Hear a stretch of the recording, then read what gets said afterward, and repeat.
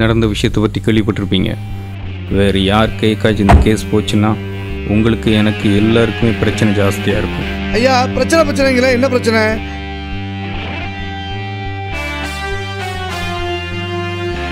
தேவையில்லாம நாலு பேரை ஒன்னாக்கணும்னு நினைக்கிறீங்க ஏசி? வேணாம் இது பிரச்சனையில தான் போய் முடியும். பிளான் பண்ணது நான் தான். மிஸ் ஆயிடுச்சு. வாடு நீனா பெரிய புடிங்க